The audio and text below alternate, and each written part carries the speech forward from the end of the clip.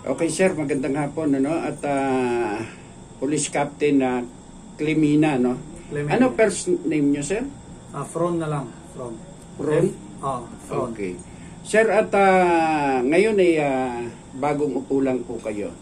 At ah, gusto ko lang malaman ano po yung mga programa niyo dito sa sta- ah, substation 5. Ah, meron tayong pinaghahandaan ngayon na election. So, Mhm. ah, marami tayong ah, Gagawin.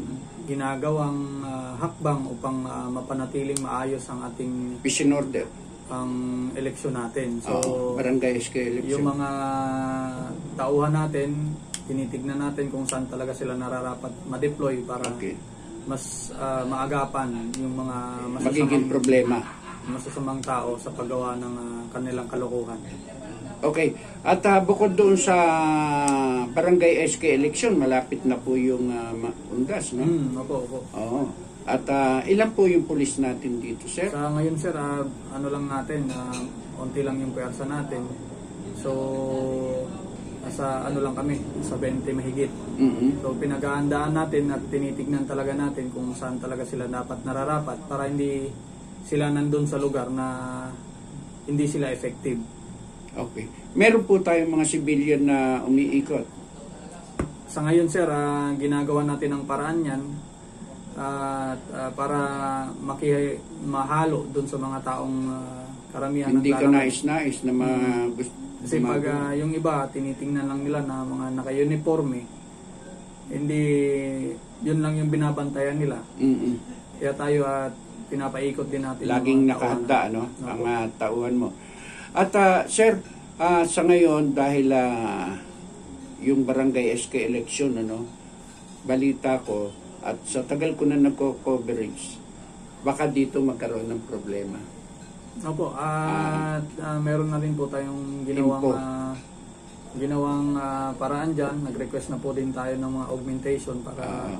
Matulungan tayo sa lugar na hotspot kumbaga pagdating sa Mhm. election. At ah, doon sa mga flying voters, Hmm, opo, opo. no?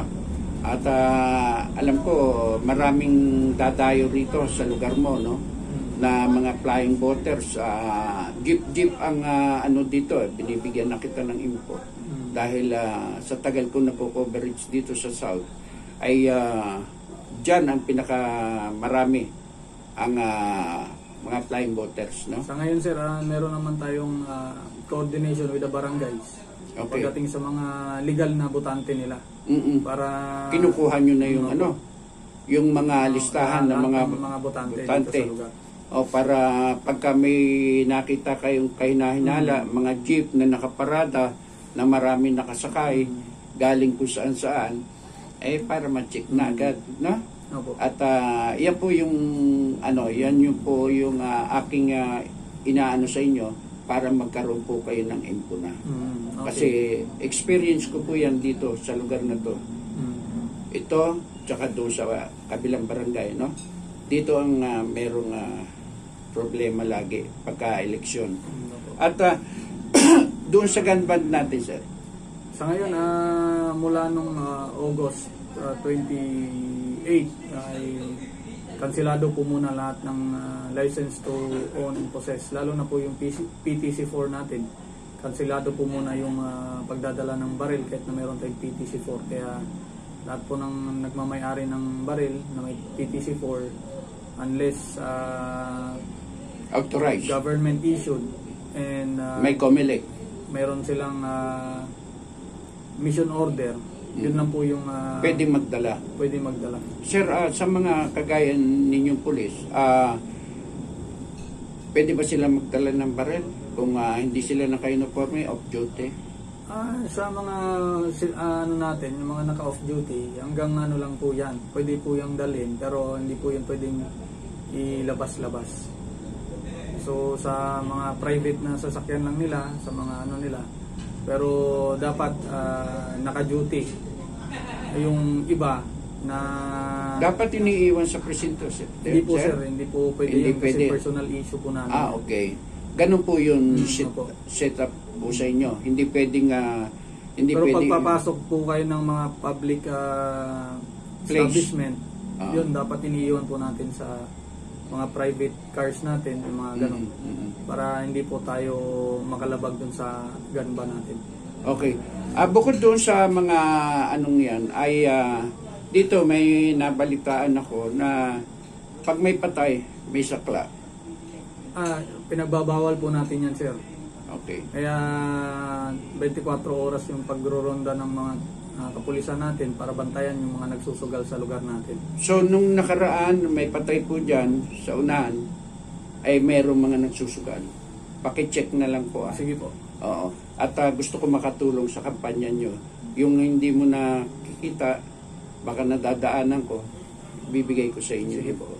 Bukod doon, sa Barangay SK Election, Peace and Order, yung mga vendors natin, sir. Ah, itong mga vendors natin, inaayos natin ah, sa ah, sila nag ah, dyan lang po sila pwede sa bangketa nakaangat. Meron na po yan silang mga guhit dyan. Designated area. Baka Ah. mamaya, sir, ah, nung araw, pinademolish ko lahat yung mga vendors dito. Mm. Kasi nasa gitna na sila. No? Eh sana, nasa gilid lang sila Mm. ng ah, mga bangketa. Meron na po yun silang mga guhit dyan. Pag lumagpas sila, uulihin po namin sila. Oo. At ah, wala palakasan yun, sir. Wala pong palakasan yan. O dito sa area na to, sir. Dito ah, dapat binubuksan nyo ito eh, Mm. no? Dapat buksan nyo yan para makakaliwa po. Kasi ang ah, dati po pwedeng kumaliwa dito. Ang ano niyan sir, pinag-aaralan natin yan kasama na yung MMDA natin dyan. So doon lang po yung designated na U-turn natin para hindi na po magka-clog yung ah, mga sasakyan natin.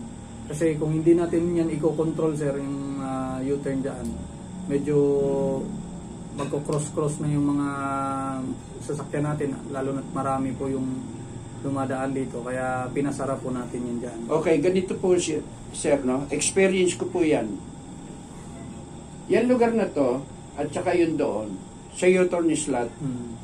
diyan po bumabara yung mga biyaheng ah, Santa Cruz, Rotonda. Ah, pagdating naman po sa mga jeep natin sir, bawal na po silang pumasok dyan. O saan Hanggang dito sa- papaikutin po? kakanan po yung mga jeep natin dito Sa may Cuneta. Cuneta Avenue. Okay? Bawal na po sila dito pumasok sa loob. Very good. Very good. Yun po yung isa sa ano. Bawal na po sila dyan. Okay.